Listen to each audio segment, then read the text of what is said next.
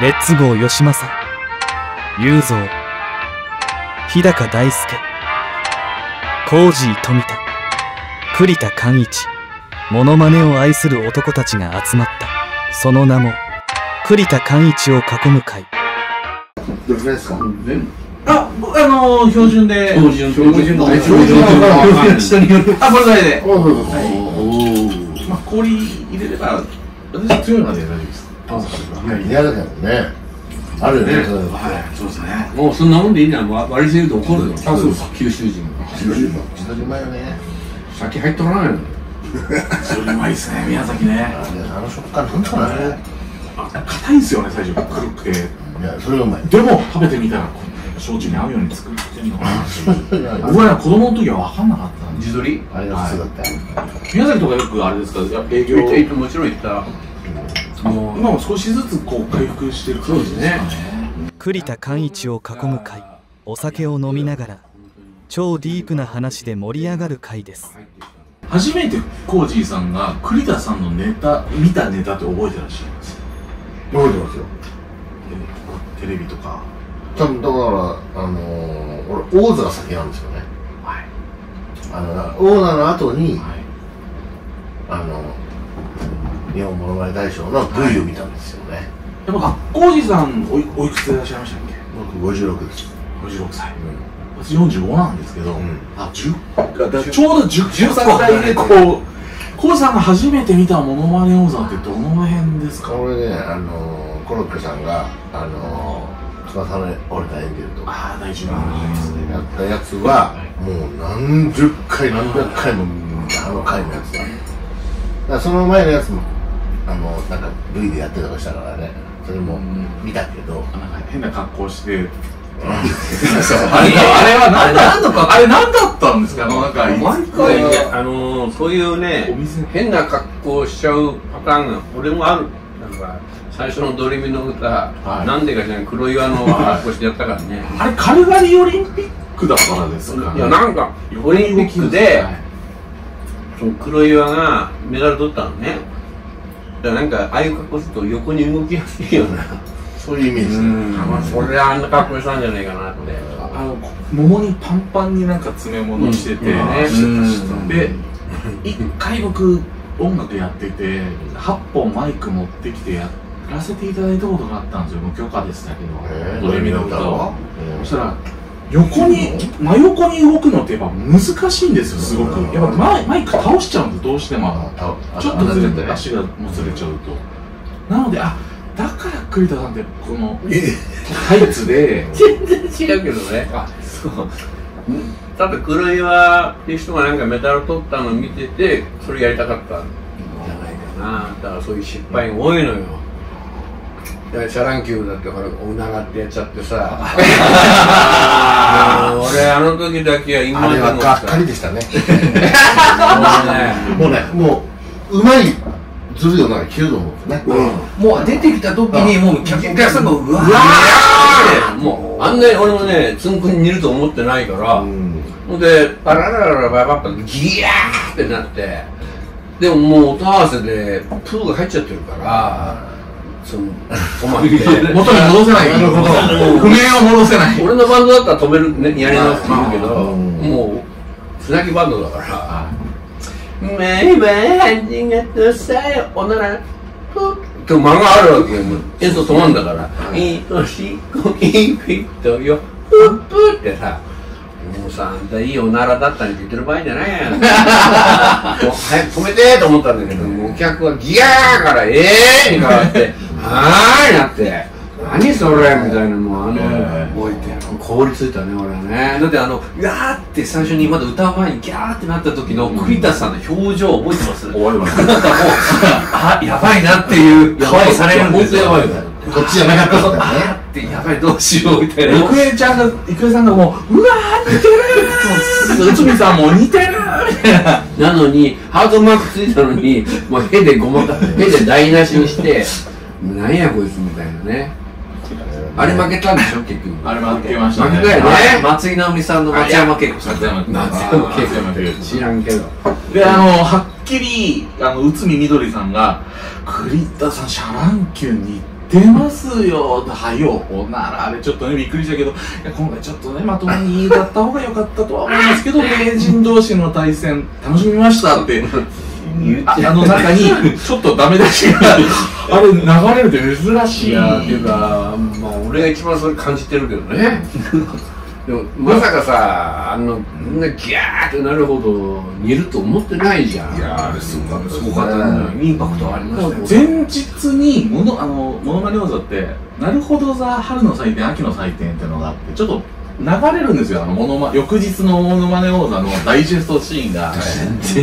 まあそういうのがあってそこで「バイバイありがとうさようならパフ」っていうそこが切り取ってわーって笑っていろんな人のこう細切れで、で、明日7時よろしくお願いしますみたいなこういうジャンクションがあってあるんですけど、ああ、栗田さん、シャ乱Q やら、しかも声も似てたし、プーも似てるし、プーも似てやってる。ああ、いやいや、プーも、あの、その後、笑いが予告では入ってたので、これは明日、勝ち上がれると思ったら、いやいや本当ね真逆真逆のリアクションしたからね俺もうちょっと似てない体でそのプーとかで笑かそうと思ってネタ作ったわけじゃん。ところがそっくりになっちゃったんだね。メイクして声もねすごい似てるやったんで。新曲でしかね、そうそうそう。だから早かったんですよね。もう本当そう。に。そうそう。だからシャ乱Qがこうブワーッと来て。ですぐだったんですよね多分初めて、初めて、日本で初めてシャ乱Qのつんくやった方ですよね。それはそうだ。すいません。ありがとう。結構初めて多いんで。ああ、いや、多いですそうですよね。ね。取り入れる。だもののけ姫、もののけ姫もそうだし。あとね、牛若丸三郎さん。いこの間この間この間ぐらいな楽屋で勇気の印。俺やった記憶がないって言い張ってるわけ。いやいやいや、いやいやいや。やってますよね。あれやってない？食べない。あ何食べた。あ銀さんの、銀さんとか。あそれは覚えてる。それはね。すごい早かったです。それはもうそれはあの時あれやんなかったらダメでしょって。でもあれ木村さんがよく考えてくれててあのちっちゃいおばあちゃんになりたいからはい。その最初普通に正座したんだけど、はい。あまあ面白くないと、で箱の中入れって。でそのこう膝膝の座布団と膝をここに乗っけろっつって。ああ、そっかそっか。で。ちっちゃいおばあちゃんになるじゃん。そうそう大のね。ね。腰の部分からがこう外に出る。あれは。傑作で、傑作で、金さんと銀さんの声をちゃんと使い分けてるっていうのが、あれがすごいですよね。こっち振りの時は銀さんこっち振りの時は銀さんです金は100歳。銀も100歳ってね。で、あれ、やっぱあれで365本のマッチだったと思うんですけど、やっぱあの歌にしようっていうのはどういう、あれなんだろうなまあ、一日一1歳3日で3歳だから今年で分かんない。そうですね。だからなんかその頃はあのー、なんで曲目とかそういう、なんか出てくるこうフレーズをいじるとか天才だったのかもしれない。自分でも分かんないもんそうないもん。あれ中学2年生だったんですよ私。で結構りごめんなさい私の話ごめんなさい。陸上部の人たちと栗田さんを応援してて部活のメンバーで家に集まって見てたんですよ。みんなで栗田さんを応援してこれはいったみたいな。だから野球中継見てるような感じでいや栗田さん今回ホームラン1回戦裕次郎でうんやってうわすごい見てる。あ金さんあ裕次郎の名前やったよ。やった覚えてます鈴鹿美彦先生のねコメントがなんでそんな声が出るの？っていう。うん。空間の持ってるカラーがここだとです。ね全然こっち方の方がおかしいでしょ。平賀君気持ち悪いじゃん。言ってるのいやでも7番だと思ったんですか？これが裕次郎さんやった後にあるレストランであのあの渡さんか。ね渡さんが。すごいいっぱいのなんかイタリアンレストラン有名ななんか。カウンターで4人ぐらいで奥の方に向かって座ったので渡哲也さんに「いらっしゃいますよ」って言われたんだけど、はいそんなさ渡さんに俺が会えるわけないし渡さんに挨拶してもしょうがないっていうかそのあそうっていう感じじゃん。そのジャンルも違えば立場も違うしさ渡る哲平さんならね。渡るてっぺん。だからてっぺんならねなんでいるのなんでいるのあいつ。であの本当に。後で詳しく教えてでこうでもなんかその一応挨拶していこうと思って。すいませんちょっとすいません。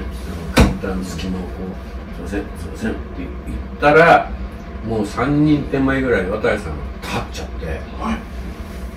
渡です」って言われた。ら俺、その瞬間死ぬかと思っただって わ知ってるよ渡さんもね、渡ですって言われるこう握手されていつぞやは亡き石原の真似感服しました。わえ？すごい見ていただきました。ありがとうございます。これからも素敵なものをね拝聴したいんでよろしくお願いします。って言われても死ぬかと思った。でひょっとしてそれが次の？それで俺渡さんをやろうと思ってなるほど。あだからなんですか？だからってことないけど。はいまあそれもある口の人なのね、自分は自分です気分ははんぺんですってやったんだけどそれは面白い。麦司会がさんまさんで自分は自分です。あ自分は自分ですっていうね。人は誰やそれっていう。さんまさんはさんまさんでボケるから。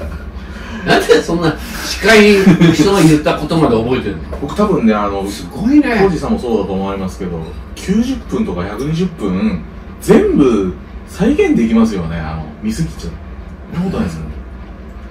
あの曲紹介とか。ねんな。いや、ないよ。日高さんが、話終わるのに待ってるんです。いやいや話し終えた。話し終えたんですよ。振ってくれたんですよ。え、俺？いや覚えてますよね覚えてるのもあるけど。シーンも。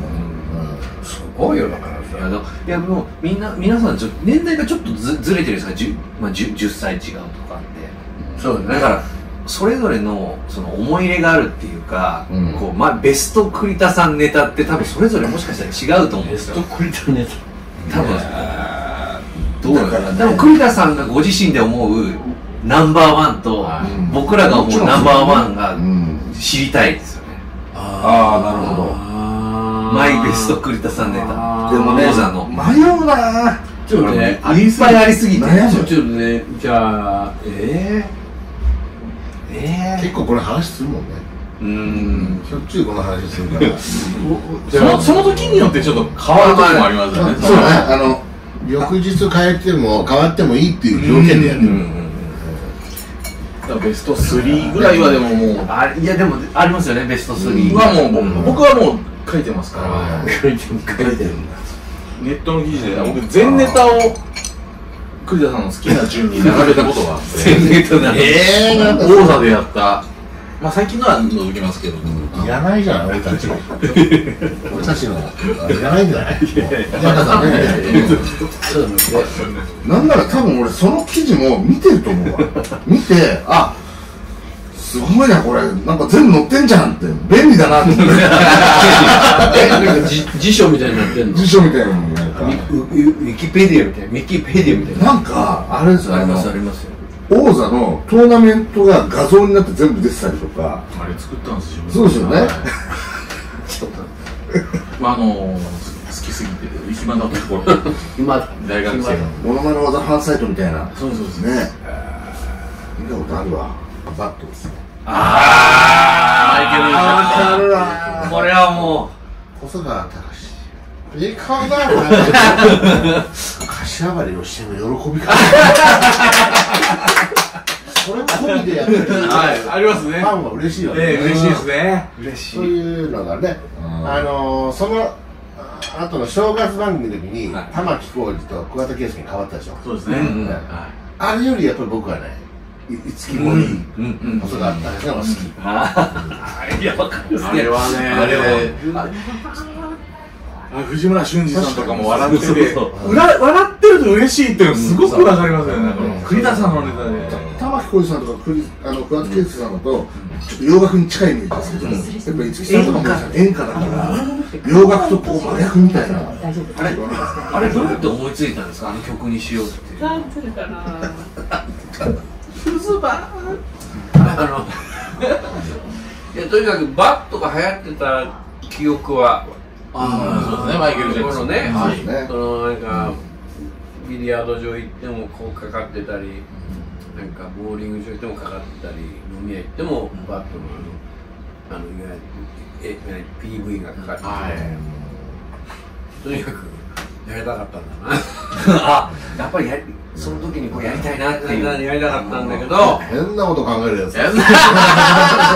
あれ最高ですよね。あのクッシュの効果ードってことがあれで思いましたからレッツクリスの曲にこう乗ってるマイケル一回抜かれるっていう。ああいい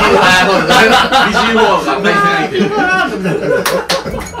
そうですねう乗ってるやつあの時の栗田さんめちゃくちゃテンション高いんですよね。あの、あの曲紹介の前から「ポー!」とかもう言ってるんですよ、もうでもテンション上げて上げてやってらっしゃるのかなとか思ったり。まあ上げないとあの細川さんへのこのねバーンって感じが出ないっていうあれシリアガンに行くあれ名作的です名ね作よあれは。名作ですね。そうですね。いろんな人を一曲でやるっていう当時流行ってたパターンの中でもやっぱりダントツですよね。ダントツの。あれは。うん。選曲とそのあの正月の時はやっぱり細川隆だそうそう。あ曲の間のね。そうそうはい。そんなこと言ったの頭の当時。桑田佳祐とやってで最後なんで来るだろうと思ったんですよ。うんそそういう流れでいくのかな。と思った、そしたらやっぱり細川隆やっぱりやっぱりねっつって。えそれで何ビッグボーあやっぱみんな待ってたんですそれそをこはもう絶対回答してるんですよあ来た来たっていう。いやあの頃はだからそのニューブリードってバンドでやってたから、だかあ綱木さんの。はい。らそのなんかこうい五木さん？森さん、で一回泊まって、で細川隆なんかその間がすんごいこうなんか一緒俺の中ですごい長かったのよ、でなんかギターかなんかのちょっとなんか残りがみたいな、はいビヨーンとありました。あったでしょ？ありましたえ？みたいなのあったんだけど、でも遅かった。ビコーダパーった。時 にさもうさそのあの40人ぐらいの編成が真剣に入ってくる感じがさ、怖くて怖くてさもう行くしかねえやみたいな素晴らしい。あそのやっぱ間が怖い。で真川さんってなんかさこうカラオケになってないから、あそっか。うんうん。音外せないってあの一泊外すこともできないわけですもんね。まあね、生番組。で一回あそこで止まったから、まあ、あれは止ま止まったんだよね、なんか止めたんだよね。しかも細川さんで歌い始めた時に振りも入るんだよねマイケルの。マイク踊りはね一応踊ねりがあのシュールで。マイケル・ジャクソンあれがシュールでね。一応マイケルでや。ってるからね細川さんの動きじゃない。よマイケルの動きがすごいねそしたらその細川たかしさんになってるなんか後ろのトーナメントで待ってる人たちも吉村明宏さんとか桑野さんとかもみんな受けてて 所さんも受けててっていうのがもう。なんだよだって五木さんと森さんは五木さんと森さんの感じでやってたもんね。ああでなるほどね。そう。やって細川さんから急にちゃんとマイケルを踊り出す。思い出したからね。サビです。サビもあるっていう。サビでもあるから。なんでだろうね Pinahongan so big fan na say you once again ズバズバ一回目さ「フーズバー」ってね。はい。一回目ねちょっと王座の時はね。その後は「フーズバー」ってねーが入っちゃう音が入っちゃう。少し慣れたから。少し慣れたから。なるほどねおまけがつく。マイナーチェンジ。日高さん作成のこの過去のやったリストを見ますとですね、えもうこの時代はその一曲の中でいろんな人をやるのばかりをやってた時時期で、バッとメロディーもやられてますでメロディーの次がドレミの歌をやられてて、次がサマードリーム、はいここで新ネタチューブが出てマードリームずいぶん遅いんだ。遅いですね、うん。で次が大都会ですね。クリスさんの